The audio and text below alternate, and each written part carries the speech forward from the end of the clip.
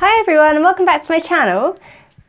Today I'm going to be repotting three of my orchids that didn't do so well in semi-hydro with leca into a system with a combination of pumice and leca.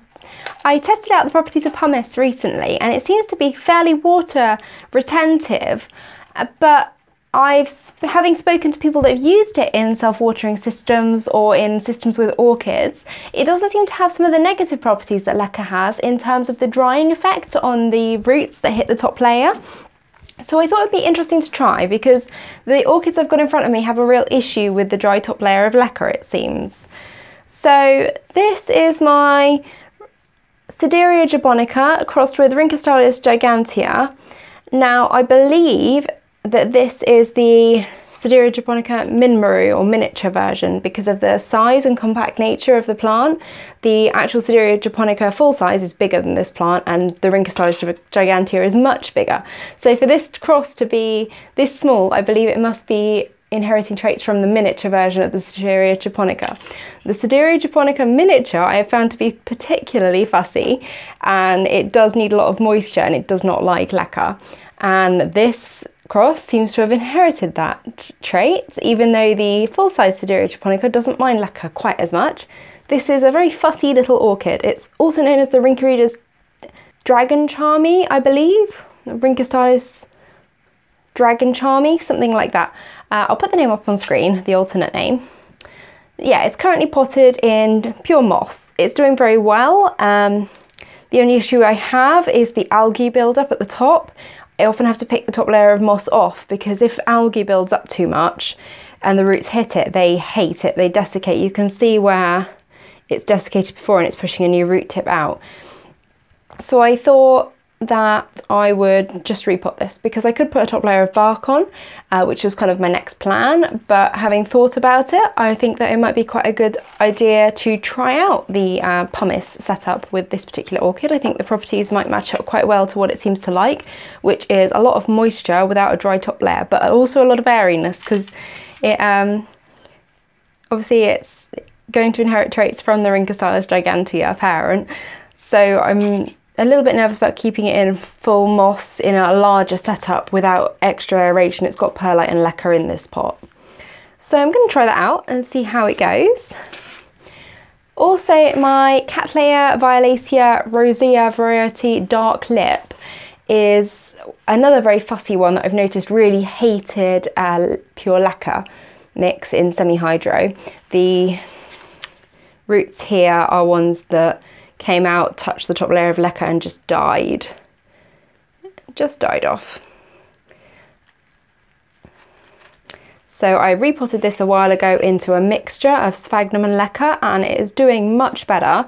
Um, again, there are a few issues inherent with using sphagnum with this and long term I would like it in an inorganic media. So I thought again this might work quite well with the pumice and leca mix setup.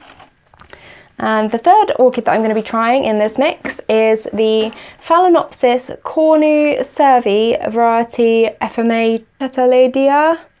Sorry, there's the tag. Um, this one, when root tips hit the top of the leca, this is what we seem to get. And I have been trying to mist this down to combat that, but just doesn't seem to enjoy leca quite as much as the other summer blooming species that I've got. It just seems to need a little bit more moisture maybe. So I'm gonna try it out in a semi-hydroponic setup with pumice and leca mixes. So I spoke to Melissa about this um, on here and she uses pumice a lot and she said that when she uses the kind of more self-watering setup, she'll mix it with a bit of leca. And I guess this is to help to increase the wicking efficiency maybe. I'm not I'm working with pumice for the first time, so I'm not entirely sure how wicking it is. It did seem to be very absorbent though.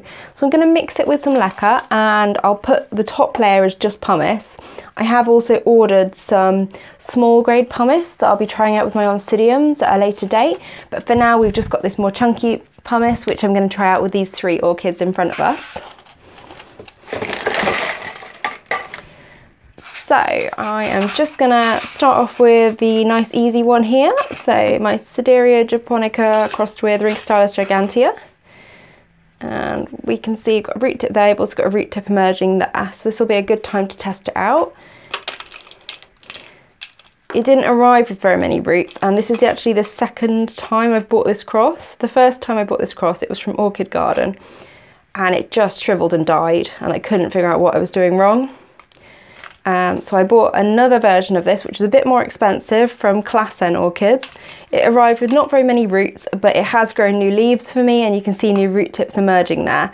So this one is definitely doing a lot better, but it, just seems to be an incredibly fussy cross. So I think it's inherited the fussiness from the miniature version of the Sedirea japonica. And I think that combination with the Rhynchostylis gigantea is maybe not a particularly vigorous hybrid in my experience. I'm just going to be using this little cup here as a semi-hydro pot. Predominantly pumice, it does have a little bit of leca kind of layered through there. I'm not going to spray this off with hydrogen peroxide because I have already done that when I first got this plant. Okay, so I've tried to do the top layer as pretty much exclusively pumice and there is a mixture of small and large but I tried to pick out the smaller bits to put on the top. What I might do is when I get in a pumice um, mix that's a smaller mix, uh, a smaller grade, I may well take this off and put a smaller grade top layer, but we're just going to have to see how this does in this setup and whether it does wick water efficiently to the top. I'm going to be monitoring that kind of every day to make sure that it's not drying out too much because this is such a fussy little orchid. Um, maybe that's not the best orchid to try in this setup, but moss long term, I'm having to change it quite a lot for this one because it seems to be degrading very fast I'm having to keep it quite moist for this fussy little thing. Uh, it didn't like the dry top layer, so yeah, let's give this a try and see how it goes. Maybe it'll need a smaller grade pumice, but for now, this is what we've got. And just pop the tag back in. Please like pumice, little orchid. I hope it does.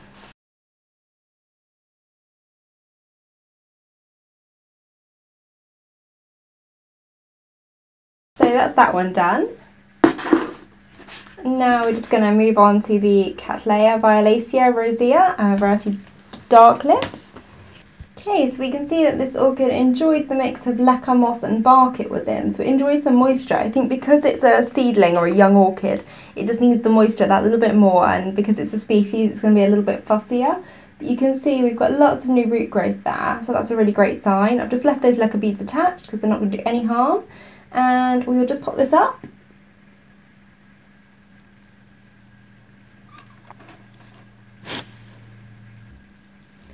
So again, I've tried to pop that one up with predominantly pumice at the top there and leca mixed throughout to increase the wicking efficiency of it. Okay, so last but not least, going to take this one out of the pot and have a look at it.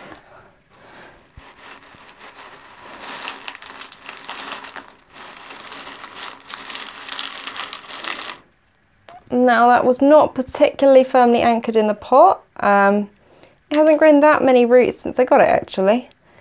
Um, so yeah, I would say this one did not like leca and semi-hydro so much. So I'm just going to put this one into a self-watering pot this time with a wick system. And unfortunately I used up that bag of pumice, so I had to use another bag that I ordered from Amazon and the pieces are much more variable in size. So I'm going to put the bigger bits kind of at the bottom. Just going to layer more leca at the bottom of this one.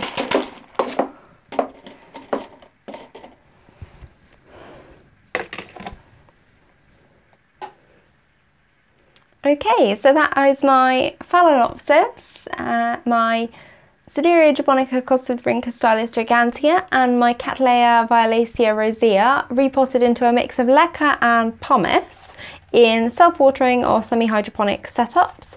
Um, we will see how efficient the pumice is at retaining water. It does seem to be a lot more moist than the leca to kind of touch. Um, for the Phalaenopsis, I have done a more leca heavy mix just because the pumice I had seemed to be larger grade left over. So I've tried to kind of fill all the air gaps up with leca and have more of a top layer of pumice. I might need to change this around depending on how moist the top is staying. Um, it's a little bit of a tricky one because a lot of the roots have become aerial roots for this one. So I've got some very long roots kind of coming out of the pot. Um, I'm hoping that some of these, when they do reactivate, will kind of go back down in and I will try and encourage them to. But ultimately they'll kind of go towards a favourable environment, I believe. Um, for me, the fact that it's not been successful really at producing roots that have gone down into the media when they have touched the leca, they've kind of dried up um, indicates that it wasn't a suitable media for them. So all it's really got left are a few roots in the pot and some aerial roots as you saw. So hopefully it will do better in this setup and I will keep you guys updated. Obviously this is an experimental setup so I don't really know what to expect any more than you guys. So keep your fingers crossed for me and we will hope that it works.